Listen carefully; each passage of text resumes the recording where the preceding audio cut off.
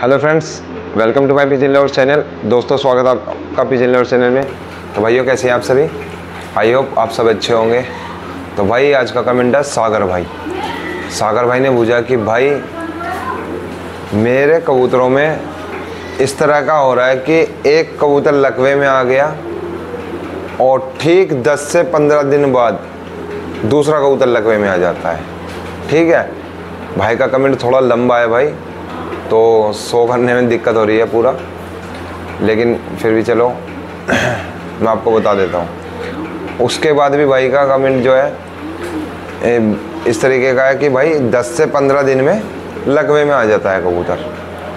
अब उसमें जब तक वो कबूतर पड़ा रहता है सभी कबूतरों में तो कोई कबूतर नया लकवे में नहीं आता है। लेकिन जैसे ही उसे मैं हटाता हूँ, तुरंत एक दो दिन में दूसरा कबूतर मुझे दिखाई दे जाता है लकवे के अंदर।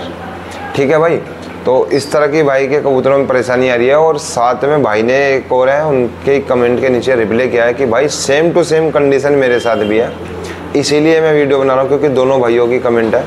तो भाई का परेशान ना हो। भाई के लिए वीडियो बना रहा हूँ ये। ठीक है? तो भाई का ये है कि जी सेम टू सेम कंडीशन है। ऐसे ही हो रहा है। ठीक? तो आज इसी के बारे में बात कर रहा हूँ भाई मैं आपसे। कि जो कबूतरों में लकवा आ रहा है तो वो क्यों आ रहा है? किस कारण आ रहा है? और ऐसा क्यों हो रहा है कि एग्जैक्ट टाइम पर यानी कि कबूतर हटाते ही और अगले एक दो दिन में कबूतर में लकवा आ जाता है। ठीक है? तो इसमें मैं आपको बताता हूँ भाई। सबसे पहले भाई देखो, आप एक चीज़ ध्यान करो। पिछली वीडियो में जैसे कि मैंने बताया था कि बारिश पड़ रही है अभी, तुरंत धूप निकल गई तो भपका, उमस, ठीक है? तो भाई ये जो लकवा होता है, ये लकवा इसी कारण ज़्यादा आता है। जब आपके लोफ्ट में गैस बन जाए तो आँख आएगी, लकवा आएगा। ठीक है? गर्मी ज़्यादा होगी, भपका बनेगा आपके लोफ्ट में। ठीक है? तो लकवा आएगा, आँख आएगी। और ये चीज़ देखो, मैं भी बताऊँ, दुनिया होने के लिए कुछ भी कह देगी इसमें, लेकिन मैं तुमसे एक सीधी सी बात बता रहा हूँ।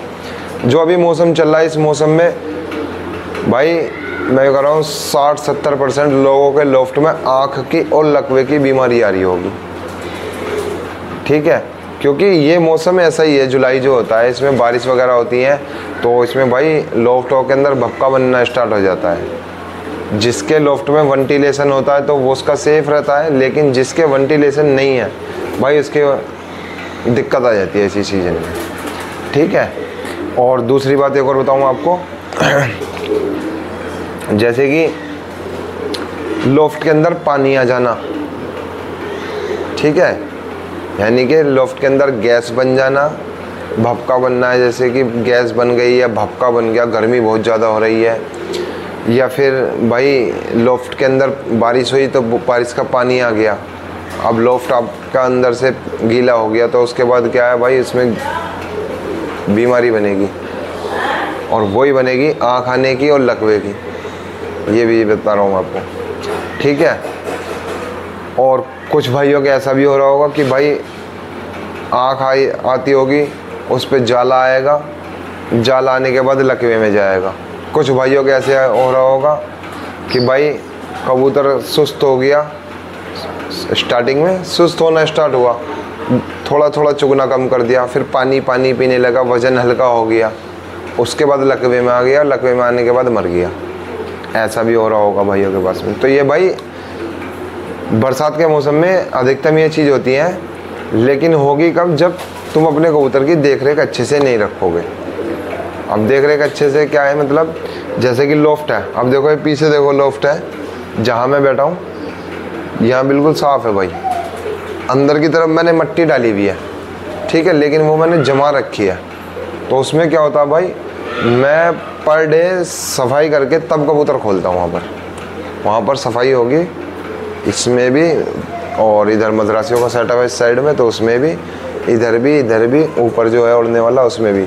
हर जगह सफ़ाई होगी, तब उसके बाद कबूतर खुलेगा। पर डे मॉर्निंग में मैं सफ़ाई करता हूँ। ठीक है भाई?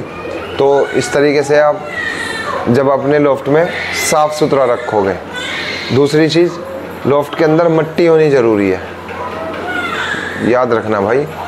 मट्टी अगर किसी भाई की छत पक्की है ना, जैसे फरस है, मैं डालने के लिए मुझे कोई ज़रूरत नहीं मट्टी की। मैं ऐसे ही रख दूँ, रोज़ सफ़ाई कर रहा हूँ, क्या दिक्कत है? लेकिन भाई, मट्टी वगैरह जो होती है, उसमें कबूतर खुश होता है।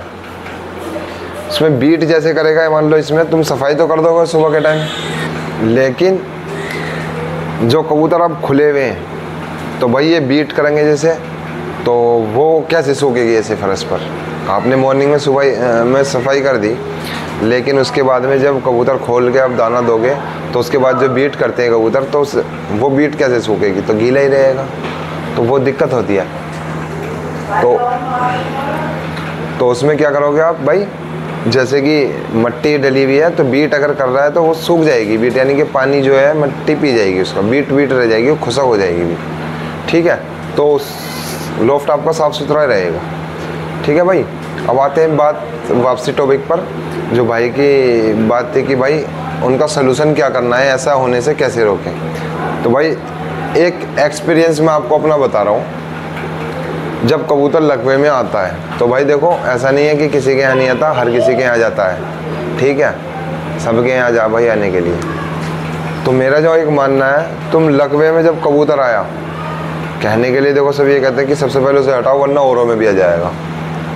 समझ गए? लेकिन भाई, अगर वो कबूतर उन कबूतरों में पड़ा है ना तो 90 परसेंट तुम्हारे किसी दूसरे कबूतर को लकवा नहीं आएगा। ये मैं अपनी आजमाई हुई चीज़ बता रहा हूँ। ठीक है भाई? और अगर आप बोलोगे तो मैं दिखा दूँगा। देखो, मेरे उड़ने वाले कबूतर हैं, और उसमें कुछ जोड़े तोड़ कर नर डाल रखे हैं ना, उनमें एक कबूतर को लकवा आ चुका है मेरे को। ठीक है? लेकिन भाई, मैंने अलग नहीं किया, उन्हीं में पड़ा हुआ है। और मैं दिखाता हूँ आपको एक बार, देखो।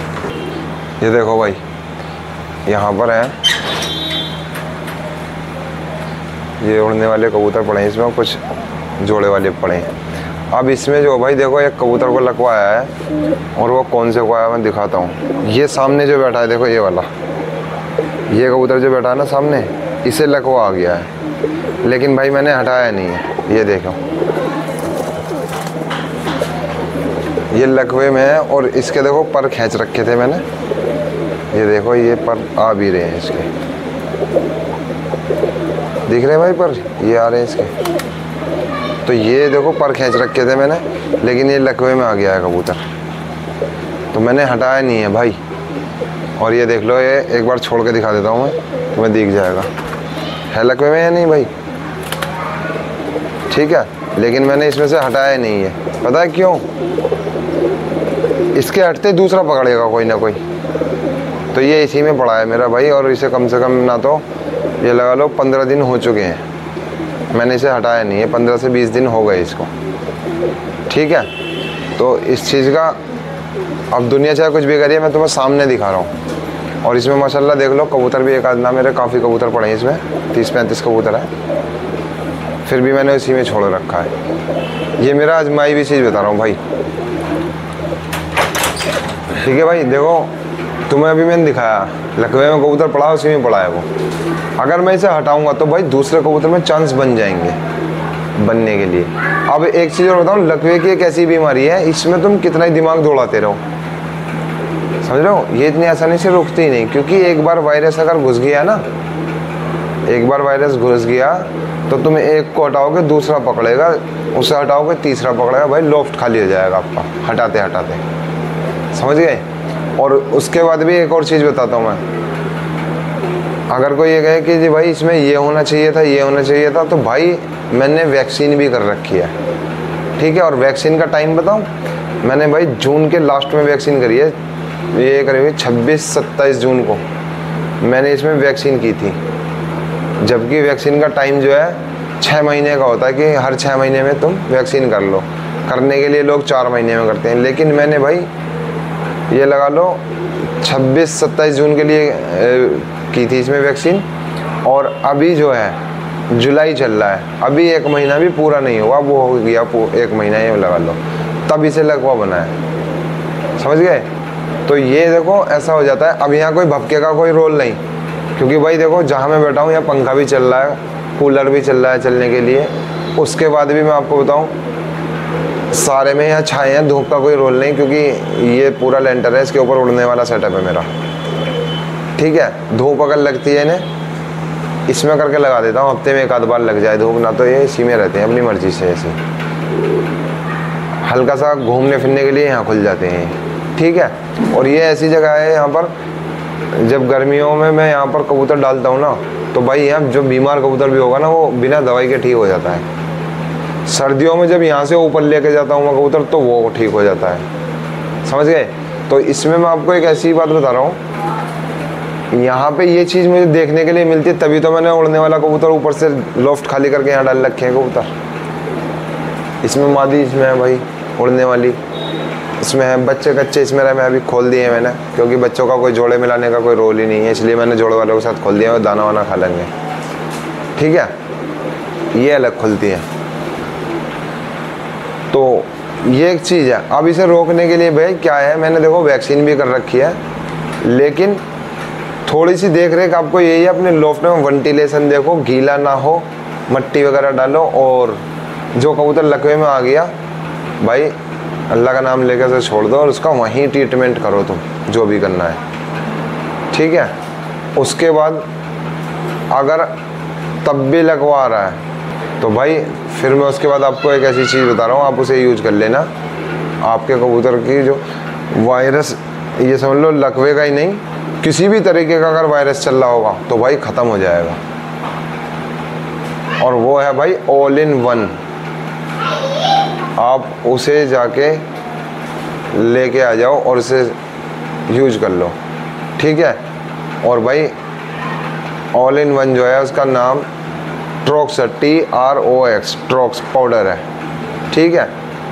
फ़ोटो देख लो, ये सो रहा है एक बार। ट्रॉक्स पाउडर है ये। आप ये डिब्बा ले आओ। ठीक है?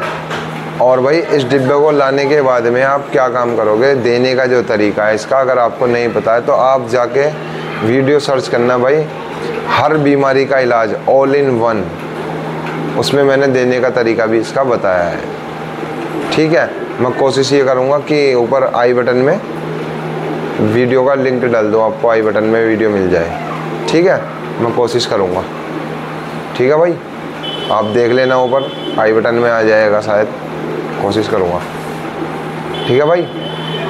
तो आप ये यूज़ कर लेना। इसमें किसी भी तरीके का वायरस चल रहा होगा ना, ख़त्म हो जाएगा। देने का तरीका मैंने इसका बताया है आपको कि किस तरीके से आपको देना है ये। ठीक? और इसका भी भाई देखो, मैं आपको बताऊँ रिज़ल्ट कैसा है। मैं कोई भी चीज़ गलत नहीं बताता। एक मिनट में आपको दिखाता हूँ। ये देखो भाई, तीन डिब्बे हैं ये। और भी हैं डिब्बे? एक नहीं, आठ, दस। ऊपर पड़े होंगे कुछ कुछ नीचे पड़े होंगे। ठीक है? ये डिब्बे वो हैं जो खाली करके में मैंने सामान भर रखा है और दूसरा ये खाली हो गए हैं। ठीक है? इसमें दूसरा भर रखा है सामान। और इसमें ये पाउडर ही है खुद। ठीक है भाई? तो ये भाई, आप सोचो रिज़ल्ट है, तभी पास में है। समझ रहे हो? अगर रिज़ल्ट नहीं होता तो एक आध डिब्बा पड़ा हुआ होता, उसके बाद लाते ही नहीं। लेकिन भाई रिज़ल्ट है तो उसके बाद ये चीज़ पड़ी है मेरे पास में। तीन तीन, चार चार, पाँच पाँच डिब्बे पड़े हैं, ऊपर भी पड़े हैं भाई। इनमें मैंने सामान भर रखे हैं। ठीक है, अलग सामान भर लेता हूँ। इनमें अपने देसी आइटम जो भी है।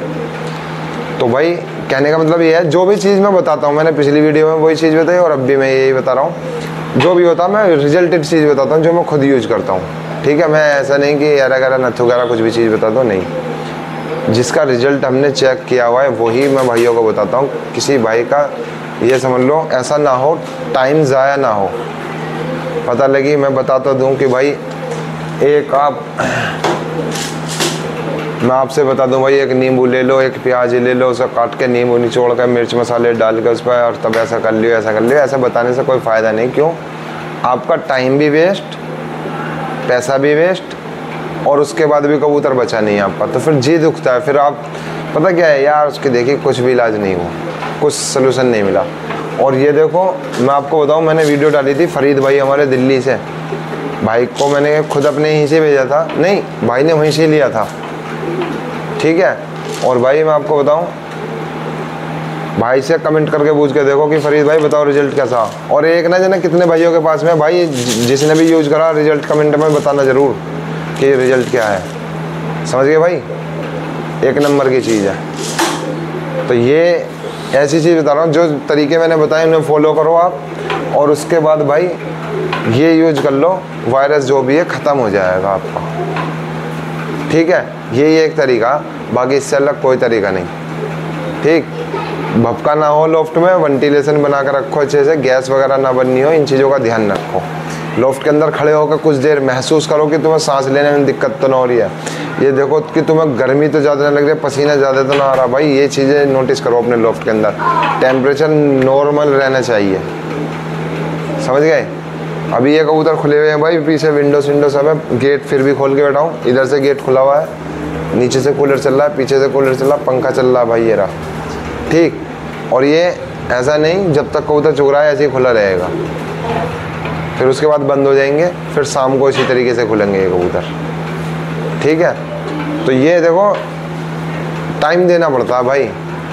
जब अच्छी नस्ल बन जाएगी ना, अच्छी नस्ल बना रखी होगी अगर, और नस्ल की कदर है। तो भाई टाइम दोगे आप। मेहनत करनी पड़ती है भाई बहुत। ठीक है? नस्ल के पीछे मेहनत करोगे तभी नस्ल बचेगी। ठीक है? अब मेहनत कौन करेगा? जिसे नस्ल की कदर है। वरना चिड़ी मारी तो देखो दुनिया में बतेरी हो रही है चिड़ी मार बैठे रहे हो तो भैया एक मर रहा, कोई बात ना, आज दो पकड़ लूँगा मैं तो राड़ कटी। लेकिन जिस भाई ने मेहनत करी है ना, नस्ल बनाई है, वो पकड़ने पर डिपेंड ना करने का, भाई। वो अपनी नस्ल पे फोकस करेगा, यार नहीं यार, बहुत कीमती है, बचना चाहिए कबूतर मेरा। यार कैसे बचाऊँ? ये होती है भाई नस्ल। अब नस्ल की बात ऐसी हो, भाई, परसों एक बच्चा है इसमें, यहाँ से निकल के उड़ गया, बेटे ने पीछे से डरा दिए थे तो कबूतर जैसे गेट खुला हुआ था तो वो निकल के उड़ गया था, परसों। ठीक है, वो रात रह गया परसों। अब पता नहीं मैं यार, ऊपर गया भी नहीं, वो नीचे ही है हिला भी नहीं है वो बच्चा। यहीं से निकल के उड़ गया। मैं इसने तो कुछ देखा भी नहीं, पता नहीं आएगा जन नहीं। लेकिन भाई विश्वास करना, परसों रात रह गया था, लेकिन कल शाम के टाइम आके जाल पे बैठ गया था वो। ऊपर, जाल पर। अब जाल पर आके बैठा क्यों? जाल उसने कभी देखा नहीं ऊपर, लेकिन उस पर आके बैठा क्यों? तो भाई मैं आपको बताता हूँ, ये जाल खड़ा पीछे, इसमें बंद होता है रोज़। इसमें कलर हो रहा है ग्रीन कलर हरा कलर हो रहा। ऊपर भी मेरा सेटअप सेम कलर का है। ठीक है, जाल जो है ऊपर हरे कलर का ही है। और भाई, ये जो है इसमें बंद होता है, इसके ऊपर बैठ जाते हैं। तो उसने ये जाल जो है, इस जाल को माना। कलर माना, ये ममटी मानी। ठीक तो ऐसे ही वीपर मेरी ममटी बनी हुई है सेम टू सेम तो उससे पकड़ा है उसने। तो ये होती है, देखो, नस्ल वाली बात। समझ गए भाई? वीडियो ज़्यादा लंबी हो जाएगी, खैर देखो भाई। वीडियो आपके लिए बहुत अच्छी बनाई है, लंबी तो हो गई है थोड़ी, लेकिन भाई चीज़ तुम्हें चैन में नहीं बताई है मैंने इसमें। ठीक है भाई? तो आशा करता हूँ आपको वीडियो अच्छी लगी होगी। अगर वीडियो अच्छी लगी हो तो लाइक करें और ज़्यादा से ज़्यादा शेयर करें। और जिन भाइयों ने हमारा चैनल सब्सक्राइब ना किया हो, वो भाई चैनल को सब्सक्राइब कर लेना, साथ में बेलाइकन भी ऑन कर लेना, ताकि हमारी हर आने वाली वीडियो आपके पास तक पहुँचती रहे। ठीक है भाइयों? तो मिलते हैं नेक्स्ट वीडियो में। अल्लाह हाफिज़।